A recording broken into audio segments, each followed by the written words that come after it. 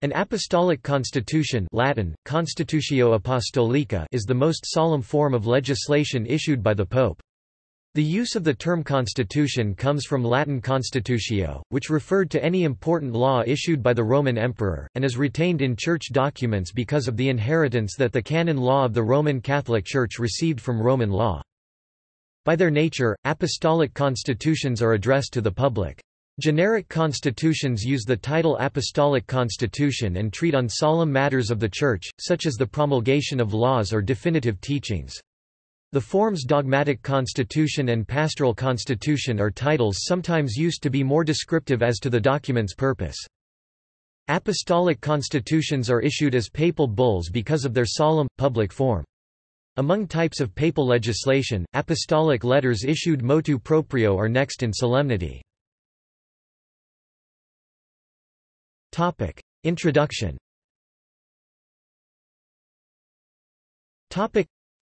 Generic constitutions contain the following introduction Pope name, Bishop Servant of the servants of God For an everlasting memorial, eternal memory, etc.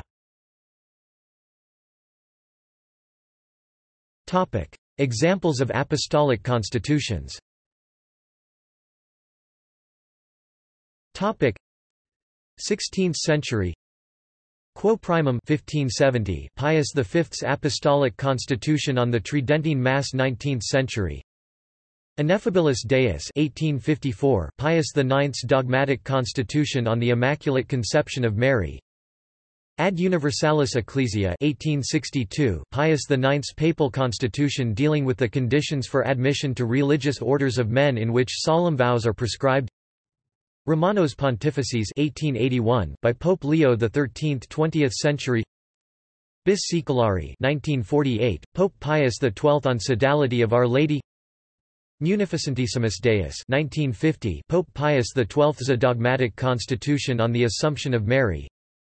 Exsul Familia 1952, Pope Pius XII's A Constitution on Migration Veterum Sapientia 1962, Pope John XXIII's Apostolic Constitution on the Promotion of the Study of Latin.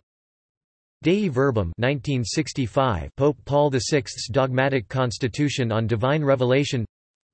Lumen Gentium 1964, by Pope Paul VI Paenitemini 1966, Pope Paul VI's Apostolic Constitution on Fasting and Abstinence in the Roman Catholic Church Missale Romanum 1969 Pope Paul VI's Apostolic Constitution on the Revised Liturgy. Romano Pontifici Eligendo 1975 Pope Paul VI's Apostolic Constitution on the election of the Roman Pontiff.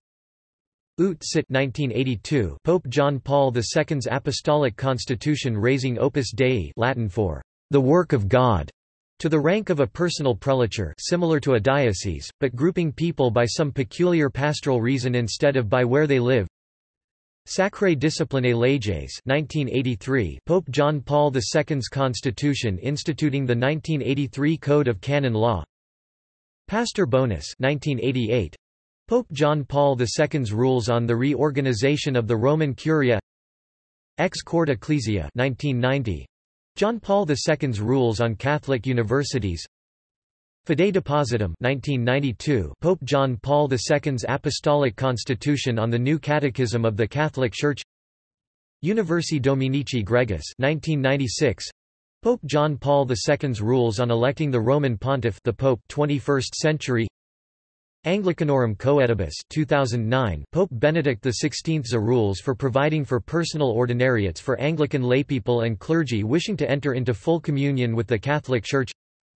Vultum Dei Quaerere 2016 Pope Francis rules about women S contemplative life.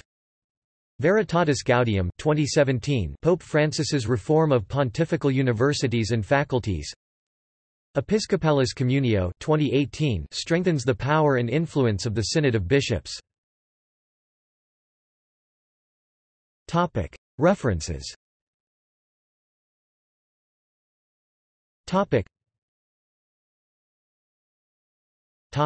Citations.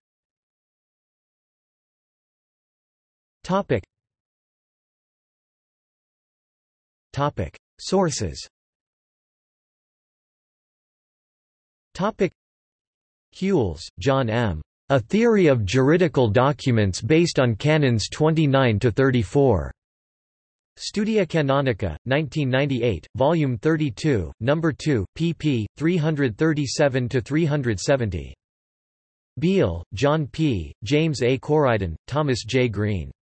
New Commentary on the Code of Canon Law, commissioned by the Canon Law Society of America New York, Paulist Press, 2000.